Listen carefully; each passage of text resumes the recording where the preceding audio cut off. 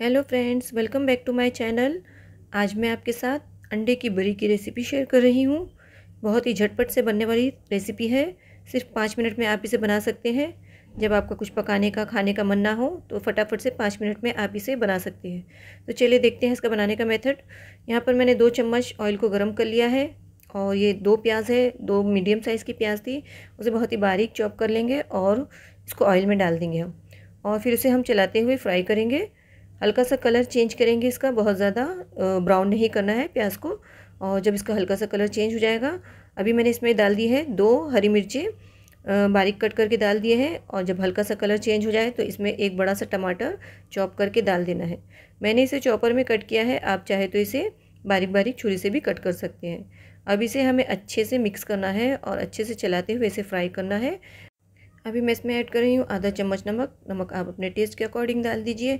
तो नमक हम इसमें मिला देंगे कि टमाटर अच्छे से सॉफ्ट हो जाए, अच्छे से मिक्स कर लेंगे और फिर इसे हमने टमाटर को गला लेना है। तो मैं यहाँ पर लिड बंद कर दूँगी, तवे पर लेड रख देंगे और दो मिनट के लिए इसे हमने लो फ्लेम पर पका लेना है। तो दो मिनट के बाद ही हम इसे हटाएँगे देखेंगे हमारा टमाटर जो है अच्छे से सॉफ्ट हो गया है। तो इसे हम इसी तरह से चम्मच से ही मैश कर लेना है।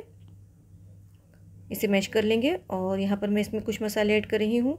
आधा चम्मच धनिया पाउडर, आधा चम्मच ज़ीरा पाउडर, आधा चम्मच काली मिर्च पाउडर है। आधा चम्मच हल्दी पाउडर डाल देंगे और आधा चम्मच ही यहाँ पर मैं इसमें लाल मिर्ची पाउडर डाल रही हूँ। हमने यहाँ पर हरी मिर्ची भी ली थी तो आप इस, अपने टेस्ट के अकॉर्डिंग अगर आप तीखा पसंद करते हैं तो मिर्चें आप ज़्यादा डाल सकते हैं। अब यहाँ पर इसे हमने अच्छे से भून लेना है। एक मिनट के लिए मैंने इसे अच्छे से भून लिया है इसी तरह ओपन में और फिर इसे हमने बारीक कटा हुआ हरा धनिया इसमें डाल देना है और अच्छे से इसे मिक्स कर लेना है। अब ये हमारा जो मसाला है वो रेडी हो गया है। तो अभी बहुत ही सूखा सा मसाला है तो मैं इसमें थोड़ा सा पानी ऐड करने वाली हूँ। दो चम्मच जितना पानी मैंने डालकर इसे अच्छे से मिक्स कर लिया है। बहुत ज़्यादा पानी नहीं डालना है। गैस का फ्लेम लो रखेंगे और यहाँ पर मैंने तीन अंडे लिए हैं तो तीन अंडे को हमने इसी तरह से तोड़कर डाल देना है। फेंटना नहीं है, इसी तरह से डाल देना है। तो इस तरह से जगह बनाकर हम तीन अंडे डाल देंगे। ऊपर से हल्का सा हमने काली मिर्च और नमक स्प्रिंकल करना है, क्योंकि अंडे में नमक नहीं है और मसाले में हमने नमक ऐड किया था।